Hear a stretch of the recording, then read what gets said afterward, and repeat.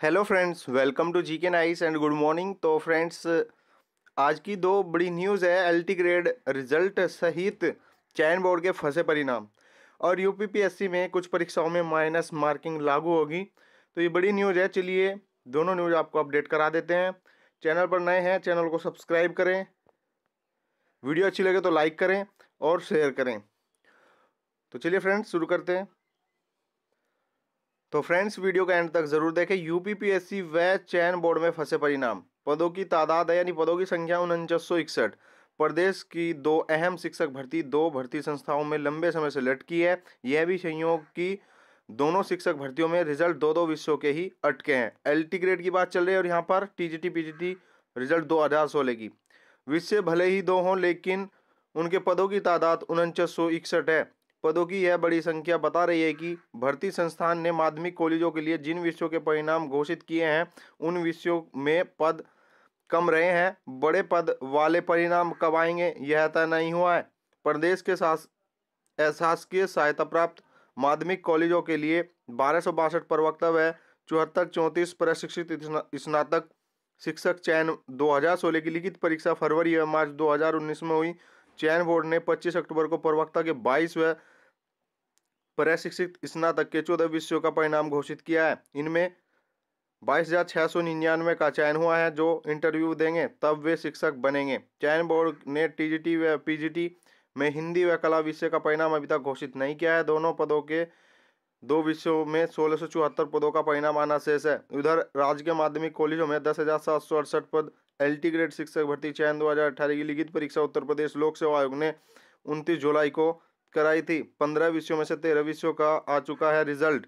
अभी हिंदी व सामाजिक विज्ञान विषय का परिणाम रुका हुआ है। इन दोनों विषयों में ही बत्तीस सतासी पद हैं। सूत्रों की माने तो इस परीक्षा में पेपर लीक का आरोप है। एसटीएफ उसकी जाँच कर रही है। पेपर लीक इन्हीं दोनों विषयों में होना कहा जा रहा है। आयोग इनका रिज़ल्ट देने में जल्दबाजी नहीं कर रहा है, जबकि अन्य विषयों में कहीं का सत्यापन करा लिया है और शेष का सत्यापन चल रहा है। दोनों संस्थाओं में दो भर्तियों के दो विषयों का परिणाम कब तक आएगा, यह स्पष्ट नहीं है। इसमें दोनों भर्तियाँ लटकी हुई है। यूपीपीएससी पर ही हमलावर। अहम बात यह है कि यूपीपीएससी ने इधर कई परीक्षाओं के परिणाम तेज़ी से दिए हैं। अल्टीग्रेड शिक्षक भर्ती के भी लंबित रिज़ल्ट दिए हैं। फिर भी प्रतियोगियों के एक गुट के निशाने पर सिर्फ़ यूपीपीएससी है, वही चयन बोर्ड से वार्ता करके लौट आता है। तो फ्रेंड्स, ये था आपका यूपीपीएससी व चयन बोर्ड के परिणाम फंसे होने की लेटेस्ट न्यूज़ तो वीडियो को लाइक और शेयर तो ज़रूर बनता है। और फ्रेंड्स, यूपीपीएससी सीधी भर्ती में भी माइनस मार्किंग से पड़ेगा जूझना। तो यूपीपीएससी को लेकर यहाँ पर बड़ी न्यूज़ है, यूपीपीएससी सीधी भर्तियों में स्क्रीनिंग परीक्षा अनिवार्य कर चुका है। नए विज्ञापन के तहत होने वाली सीधी भर्तियों में स्क्रीनिंग परीक्षा कराई जाएगी। इसके साथ ही आयोग ने स्क्रीनिंग परीक्षा में भी माइनस मार्किंग अनिवार्य की है। ऐसे में अभ्यर्थियों की सीधी भर्ती में भी माइनस मार्किंग से जूझना होगा। अमूमन ज़्यादातर सीधी भर्ती परिणाम व परीक्षाओं में केवल इंटरव्यू के आधार पर भर्तियाँ करा ली जाती थी। इसमें तमाम गड़बड़ियों के आरोप लगते थे। इंटरव्यू में किसी अभ्यर्थी ने कैसा प्रदर्शन किया, उसका कोई रिकॉर्ड नहीं होता था। अभ्यर्थियों को भी केवल उनके शिक्षण अभिलेखों के आधार पर इंटरव्यू के लिए बुला लिया जाता था।